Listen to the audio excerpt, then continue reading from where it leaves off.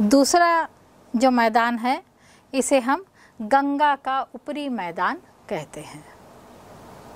गंगा का ऊपरी मैदान पश्चिम में गंगा यमुना दोआब के मध्य में यह स्थित है।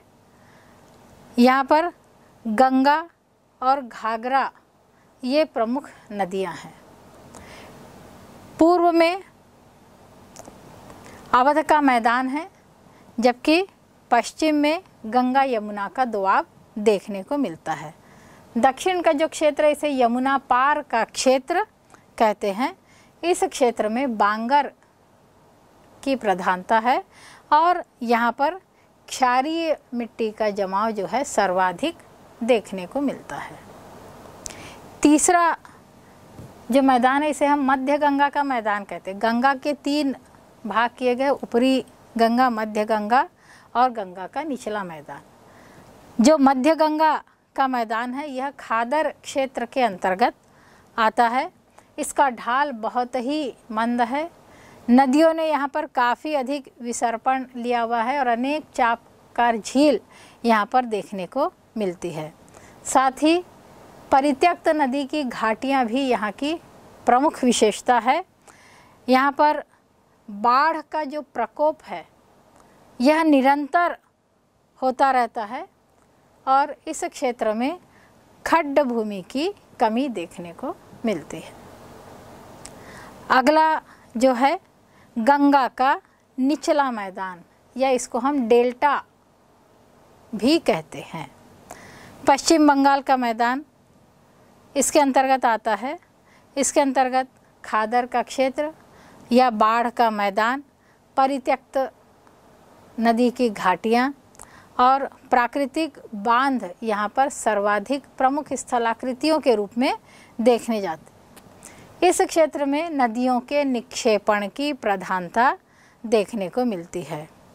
गंगा नदी का जो डेल्टा है, ये विश्व का सबसे प्रमुख या संसार का सबसे बड़ा डेल्टा है। यह जो डेल्टा है, ये लगभग इक्यावन हज़ार तीन सौ छः किलोमीटर में फैला हुआ है। यह समुद्र के किनारे में यहाँ पर कहीं कहीं पर एक्चुरी का भी निर्माण होता है। कहीं पर बालू का भित्ति और कहीं पर कच्छ की आकृति भी देखने को मिलती। कहीं कहीं पर छोटे छोटे द्वीपों का निर्माण भी हुआ है। यहाँ पर गंगा नदी ने ज्वारीय वन के क्षेत्र यहाँ पर देखने को मिलते हैं, जिसे हम सुंदर वन के नाम से जानते हैं। पश्चिम भाग, यहाँ पर गंगा नदी का डेल्टा का लगभग स्थिर है, लेकिन पूर्वी भाग जो है, इसमें निरंतर परिवर्तन होते रहते हैं। और ये जो परिवर्तन है, ये समुद्री क्षेत्र में आवागमन की स्थिति को दर्शाते हैं। पांचवा जो मैदान है, इसे हम असम या ब्रह्मपुत्र की घाटीवर्ती क्षेत्र कहते हैं। इसका निर्माण अभिनति में अवसाद के जमाव के कारण हुआ है और यहाँ पर अनेक धाराओं में नदियाँ प्रवाहित होती है। इस क्षेत्र में कई छोटे छोटे नदियों के दो धाराओं के बीच में द्वीपों का निर्माण हुआ है। वैसे ही यहाँ पर कई चापाकार झीलें, नदियों का विसर्पण, ये यहाँ की प्रमुख स्थलाकृति रही है। इसके बाद जो छठवा प्रमुख क्षेत्र है, इसे हम राजस्थान का मैदान कहते हैं। बच्चों, मैंने इसके पहले भी आपको बताया था कि कुछ लोग राजस्थान को इस उत्तर भारत के विशाल मैदान में सम्मिलित करते हैं। तो कुछ विद्वान राजस्थान का मरुस्थली भूभाग को अलग मानते हैं।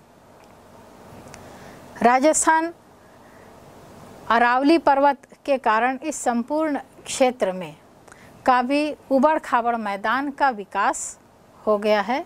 यह मैदान इस उत्तर भारत के मैदान से पश्चिम में स्थित है और इसकी तरह यह उपजाऊ नहीं है, बल्कि ये पूरी तरह से मरुस्थलीय मैदान है। यहाँ पर मरुस्थलीय आकृतियाँ जिसमें बरखान या बालू के टिब्बे और कहीं पर बालूमय वातावरण और कहीं कहीं पर चट्टानी वातावरण देखने को मिलता है। राजस्थान का मैदान उत्तर भारत के विशाल मैदान से पूरी तरह से भिन्न है। इसे हम भारतीय मरुस्थल के नाम से भी जानते हैं। लगभग 175 हज़ार वर्ग किलोमीटर के क्षेत्र में यह व्याप्त है। इसे मारवाड़ का मैदान भी कहा जाता है। बच्चों, अरावली के जो उत्तरी पूर्वी भाग में यह पूरा मैदान विस्तृत है। और हम इसे मरुस्थल क्यों कहते हैं? क्योंकि यहाँ पर वर्षा का अभाव है। वर्षा यहाँ पर 10 से 25 सेंटीमीटर या उससे भी कम होती है। ऐसा माना जाता है कि मेसोजोइक युग में यह संपूर्ण मैदान समुद्र में समाया हुआ था। यह समुद्र का एक हिस्सा था और इसकी जो पुष्टि है आज भी जैसलमेर के निकट जो समुद्री निक्षेप है, उससे होती है। तो ये माना जाता है कि समुद्र का एक हिस्सा था। यहाँ पर पाई जाने वाली जो बालू के टिब्बे या जो रेतमय या बालूमय वातावरण और कहीं कहीं पर पथरीला जो स्थल है, वह इस मरुस्थल के संरचना को बताता है। बालू के जो टीले हैं, वो समुद्र के पास में अनुप्रस्थ है। लेकिन समुद्र से जब दूर के क्षेत्र में ये अनुदैर्ध्य प्रकार के हैं तो ये दोनों ही भिन्न भिन्न है। यहाँ पर कहीं कहीं पर चूँकि ये मरुस्थल कहीं कहीं पर पथरीला भी है तो यहाँ पर कहीं कहीं पर ग्रेनाइट या नाइस और कहीं कहीं पर शिष्ट शैलें देखने को मिलती हैं। इस मरुस्थल के दक्षिण में लूनी नदी का प्रवाह, एकमात्र नदी लूनी नदी, इस क्षेत्र से बहती है लूनी नदी का बेसिन यहाँ पर देखने को मिलता है। ये जो लूनी नदी के अलावा जो अन्य इसकी कई छोटी बड़ी नदियाँ इसके उत्तर में जो प्रवाहित होती है, ये नदियाँ यहाँ पर आते आते इनका जल लुप्त हो जाता है और इसीलिए हम इसको अंतः स्थलीय प्रवाह के नाम से भी जानते हैं। इसके उत्तर में कई झीलों का विकास हुआ है। ये जो झीलें हैं, इसमें जल यदि वर्षा होती तो वर्षा काल में जल रहता है। शेष समय में ये पूरी झीलें सूखी रहती है और इसकी जो तली होती है, इसमें नमक का जमाव देखने को मिलता है। वैसे ही भी ये झीलें खारे पानी की झील है। प्रमुख झीलें जो है, इसमें सांभार, दिदवाना, दिगाना और कुछ मान ये प्रमुख झीलें हैं जिसमें सांभार झील जो है, ये सर्वप्रमुख झील है। मरुस्थल में कहीं पर बालू का फैलाव है, कहीं पर शैल की धरातल है और इसी आधार पर यहाँ पर हम इसको जलोढ़क वाला क्षेत्र भी कहते हैं क्योंकि जल से प्राप्त जो समुद्र के निक्षेप है, वो भी यहाँ पर कहीं कहीं पर देखने को मिलते हैं, जिसमें ग्रेनाइट और जो रायोलाइट शैलें हैं, यह यहाँ की प्रमुख शैलें हैं। तो बच्चों, ये तो मध्य का मैदान हुआ। इस मैदान के भी कई लाभ हैं। बच्चों उत्तर भारत का यह विशाल मैदान न केवल अपनी भौगोलिक संरचना के लिए, बल्कि हमारे जीवन में भी इसका बहुत अधिक लाभ है। कौन कौन से लाभ है देखिए। यह मैदान नदियों द्वारा लाई गई जलोढ़क मिट्टी से बना है। ये जलोढ़क मिट्टी कृषि के लिए बहुत ही महत्वपूर्ण है। यहाँ पर विभिन्न प्रकार के फ़सलों की कृषि की जाती है और वर्ष भर यह क्षेत्र कृषि के लिए उपयुक्त होता है क्योंकि वर्ष भर यहाँ जल उपलब्ध होता है। यहाँ पर बहने वाली जो सदा नीरा नदियाँ हैं सदा नीरा अर्थात वर्षगामी नदियाँ वर्ष भर ये बहती है और इन नदियों से वर्ष भर जल की प्राप्ति होती जिससे सिंचाई के साधन उपलब्ध हो जाते हैं। इसके अलावा इस क्षेत्र में इन नदियों से पीने का जल भी पर्याप्त मात्रा में उपलब्ध होता है, जिससे बहुत अधिक आबादी इस क्षेत्र की ओर आकर्षित हुई है।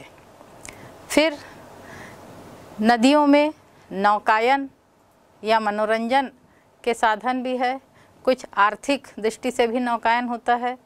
इसके अलावा यहाँ मत्स्योत्पादन की प्रक्रिया भी होती है और कई जगह कल कारखानों की स्थापना भी हो चुकी है।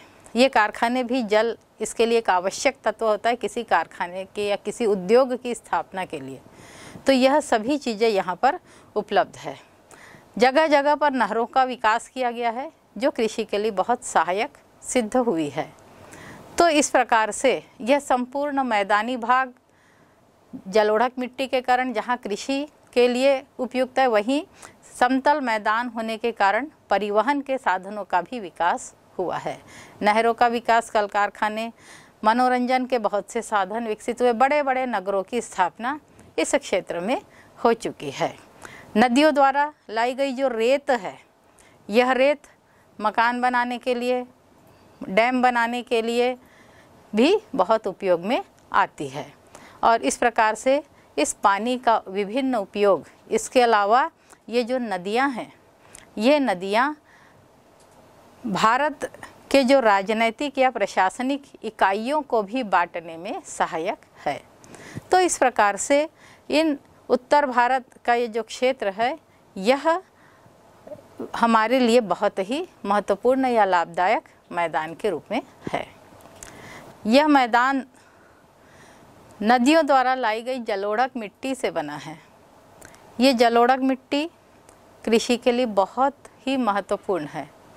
यहाँ पर विभिन्न प्रकार के फ़सलों की कृषि की जाती है और वर्ष भर यह क्षेत्र कृषि के लिए उपयुक्त होता है क्योंकि वर्ष भर यहाँ जल उपलब्ध होता है।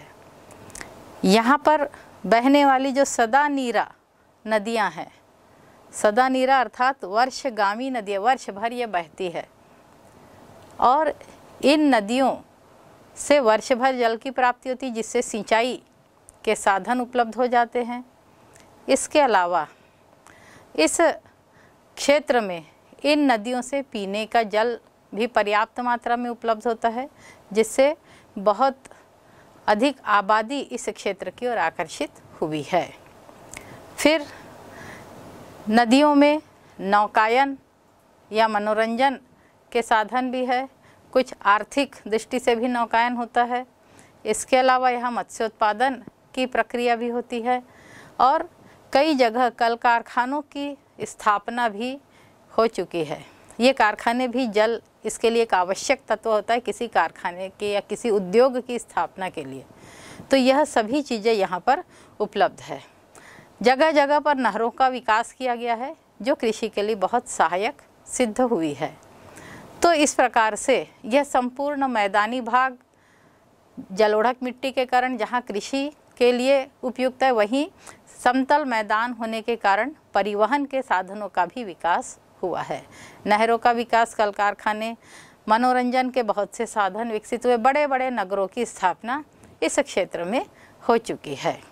नदियों द्वारा लाई गई जो रेत है, यह रेत मकान बनाने के लिए, डैम बनाने के लिए भी बहुत उपयोग में आती है।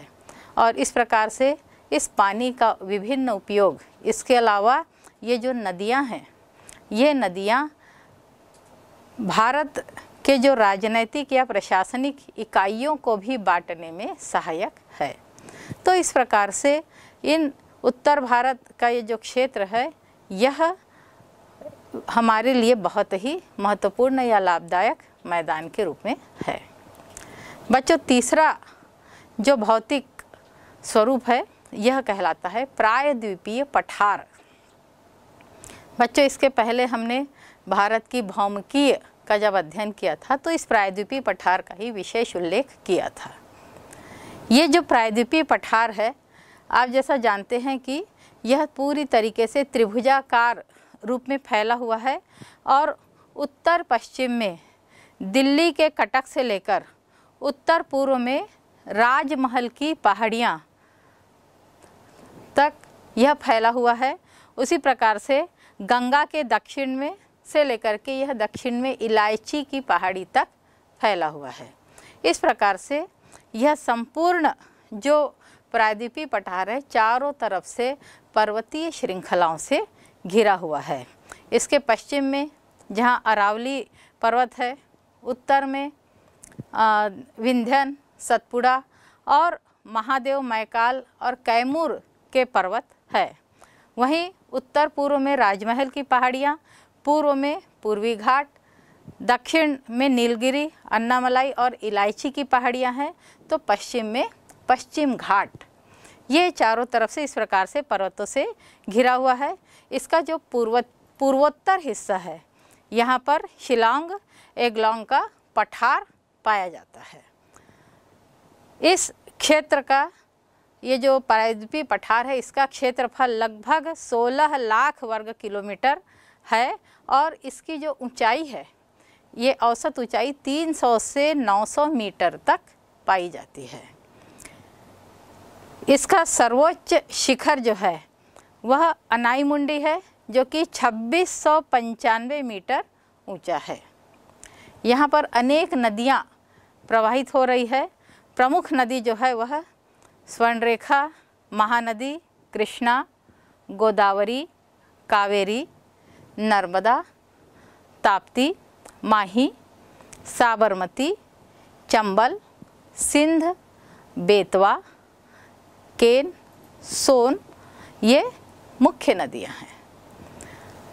यहाँ की संपूर्ण क्षेत्र की मिट्टी जैसा कि हमने भौमिकी क्षेत्र में पढ़ा था, इस संपूर्ण क्षेत्र की मिट्टी जो है, यह काली मिट्टी है। ये काली मिट्टी लावा युक्त मिट्टी है और यहाँ पर धरातल में कई विविधताएँ पाई जाती है। विविधताओं का तात्पर्य है यहाँ पर कई खड्ड और महाखड्ड जैसी जटिलताएँ भी इस क्षेत्र के धरातल की विशेषता है। यहाँ पर कहीं पर धरातल सपाट है तो कहीं पर, यहाँ पर पहाड़ियों का एक गुच्छा पाया जाता है और कहीं कहीं पर पाट प्रदेश के रूप में कुछ ऊँचे पठार जैसे पाट प्रदेश यहाँ पर पाए जाते हैं।